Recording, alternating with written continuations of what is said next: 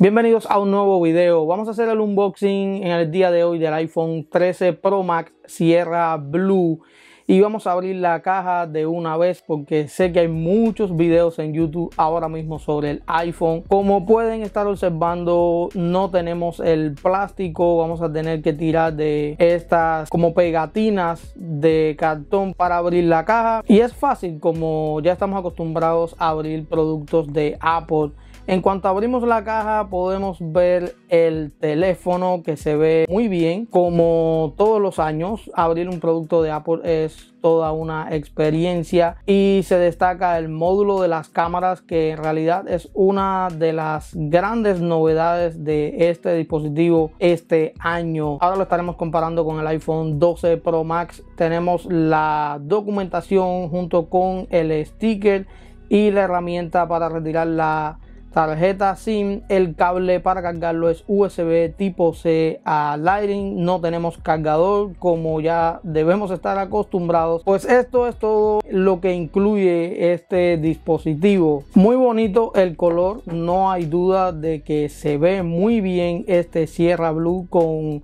sus bordes brillantes al igual que el iPhone 12 Pro Max que se le estarán marcando muchísimo las huellas. El módulo de las cámaras ha aumentado este año debido a sus lentes, ya que una de las cosas que tiene este teléfono en especial este año es el modo cinemático que nos permite enfocarnos a la hora de grabar videos en una persona y tener el fondo desenfocado. Si esa persona después mira a otra persona o, nos o dirige su atención hacia un objeto o algo en el fondo, pues el enfoque iría directamente a, esa situación y quedaría la persona desenfocada. Es algo bastante interesante para nosotros los que creamos contenido y por supuesto se los estaré mostrando después en otros videos. La fotografía macro, todo eso lo estaremos probando por supuesto aquí en el canal. Otra cosa que tiene buena este teléfono es el incremento en la batería. Ahora mismo no estoy seguro, pero creo que dura como dos horas más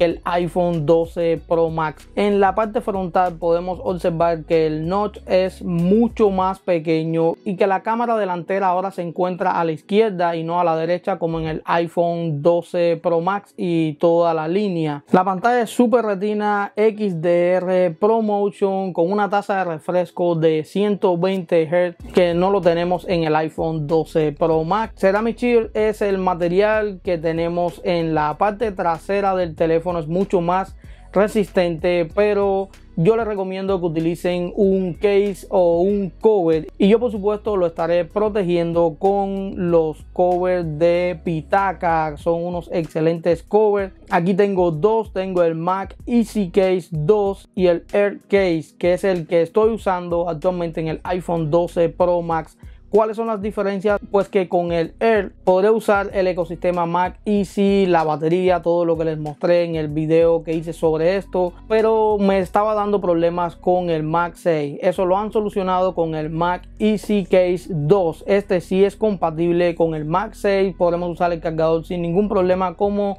también los accesorios. Son covers bien resistentes. Se me ha caído el iPhone en diferentes ocasiones y no he tenido ningún problema. Si están interesados, pues tendrán un link aquí debajo en la descripción. La batería es un punto importante en el iPhone 13 Pro Max. Que si en el 13 Pro Max tenemos mucha más batería, pues es mejor. Esto es todo lo nuevo que trae el teléfono. Lo estaré probando para en el review, entonces darles una opinión más completa sobre él utilizar las cámaras, la duración de la batería. Así que nada, yo espero que el video les haya gustado. Si ha sido así, apóyenme con un gran me gusta como siempre. Suscríbanse que es gratis.